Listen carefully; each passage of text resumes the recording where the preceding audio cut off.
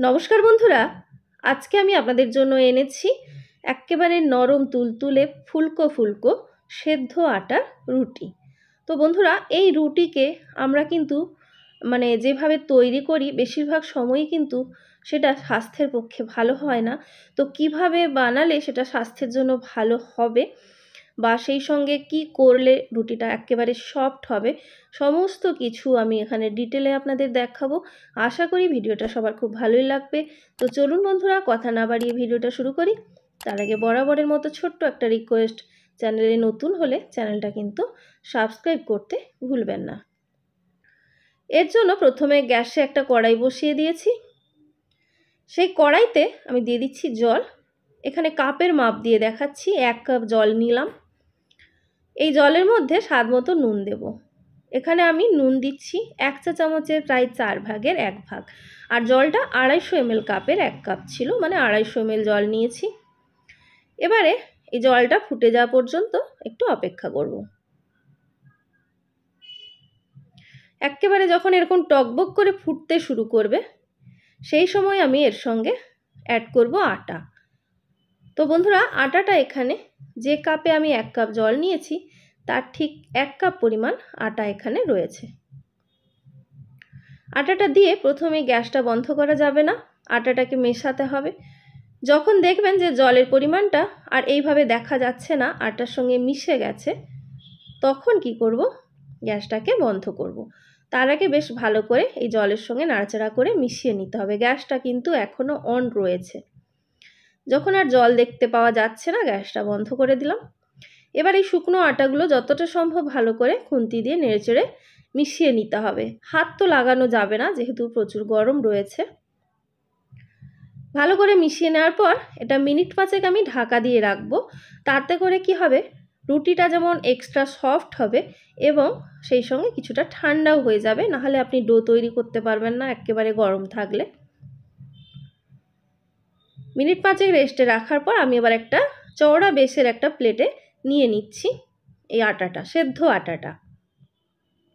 এবারে এটাকে ভালো করে মাখিয়ে একটা একেবারে মসৃণ একটা ডো তৈরি করে নিতে হবে। ভালো করে প্রেশার দিয়ে দিয়ে কিন্তু ডোটা তৈরি করবেন, তাহলে রুটি খুব ভালো ফুলবে। আর ডোটা দেখুন কতটা সফট হয়েছে বা কতটা হার্ড হয়েছে দেখেই বুঝতে পারছেন।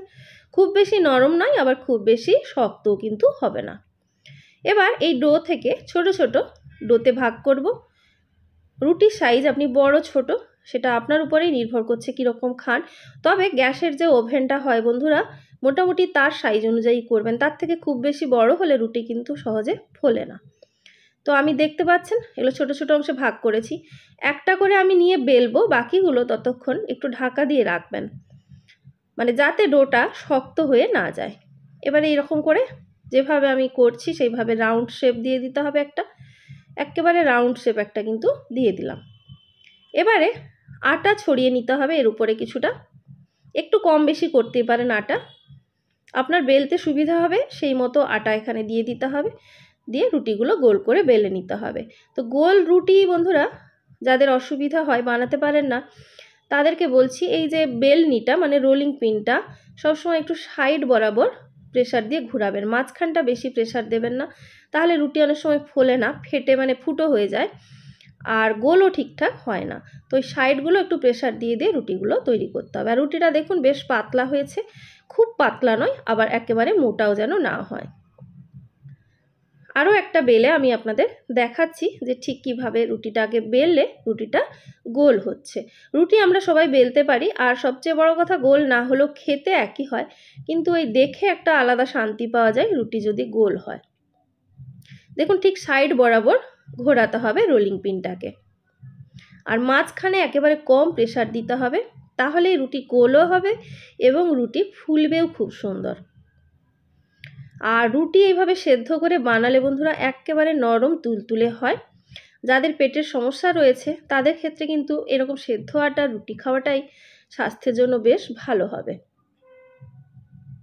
দেখো রুটিটা কিন্তু গোল হয়েছে। তো অনেকেই বন্ধুরা আমার থেকে আরও ভালো গোল বেলতে পারেন, কিন্তু যারা পারেন না, তাদের জন্য আমি এটা দেখালাম যে কীভাবে বেললে মাঝখানটা প্রেশার দেবেন না সাইড বরাবর প্রেশার দিয়ে দিয়ে রুটিটাকে ঘুরিয়ে ঘুরিয়ে বেলবেন, দেখবেন রুটি ঠিক গোল হয়ে যাবে।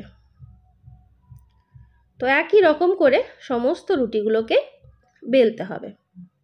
আর রুটিটা আমি যেটা বলার আপনাদের দেখতেই পাচ্ছেন, রুটিটা কিন্তু খুব বেশি একেবারে কাগজের মতো পাতলা করেও বেলছি না, আবার বেশি মোটাও কিন্তু নয়।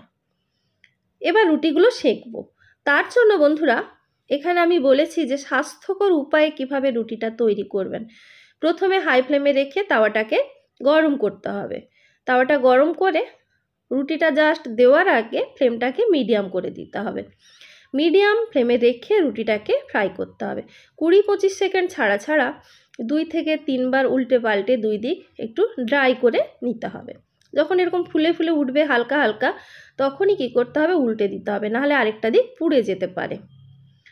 এবং এবার যখন দেখুন যে, এইভাবে বেশ ফুলতে শুরু করছে, সেই সময় ফ্লেমটাকে একটু বাড়িয়ে দেবেন। যাতে তাপটা ভালো করে চারদিক পায়। তাহলে রুটি একেবারে সুন্দর হয়ে কিন্তু এইভাবে ফুলে যাবে। দেখুন তাওয়াতেই রুটি কত সুন্দর কিন্তু ফুলে গেল। রুটি ফুলে যাওয়ার পর আরও এক দুবার উল্টে পাল্টে নিলেই রুটি কিন্তু রেডি হয়ে যাবে। রুটিটা যখন নামিয়ে রাখবেন, কয়েক সেকেন্ড জাস্ট মানে বাইরের হাওয়ায় রাখবেন, তারপরে কোনো পাত্রে অবশ্যই ঢাকা দিয়ে রাখবেন। তাহলে রুটি একেবারে সফট হবে আর রুটি ঘেমে গিয়ে ভিজেও যাবে না। আর পরের রুটি দেওয়ার আগে অবশ্যই এইভাবে মুছে দেবেন যাতে পুড়ে যাওয়া আটাগুলো পরের রুটির গায়ে না লাগে। তো এটা বন্ধুরা একেবারে স্বাস্থ্যকর উপায়ে রুটি তৈরি। একইভাবে সবগুলো তৈরি করতে হবে। আর বেশিরভাগ সময় আমরা যেটা করে থাকি বন্ধুরা ঠিক এইভাবে ডাইরেক্ট ফ্লেমের মধ্যে রুটিটাকে দিয়ে দিই। রুটি খুব তাড়াতাড়ি ফুলে যায়, রুটি অনেক তাড়াতাড়ি তৈরি হয়ে যায়। তাড়াতাড়ি তৈরি হয় ঠিকই, কিন্তু এইভাবে তৈরি হওয়া রুটি শরীরের জন্য একেবারে ভালো না। অতিরিক্ত তাপের তৈরি হওয়ার ফলে এর মধ্যে অনেক ব্যাড রিয়েকশান হয়, সেটাও ভালো নয়। আর সেই সঙ্গে যেহেতু এটা এলপিজি গ্যাস, এর মধ্যে কিছু বিষাক্ত কেমিক্যাল অবশ্যই থাকে, সেটাও কিন্তু স্বাস্থ্যের জন্য ভালো নয়। তাই সবসময় চেষ্টা করবেন ডাইরেক্ট তাওয়ার মধ্যে রুটিটাকে ভেজে নেওয়ার।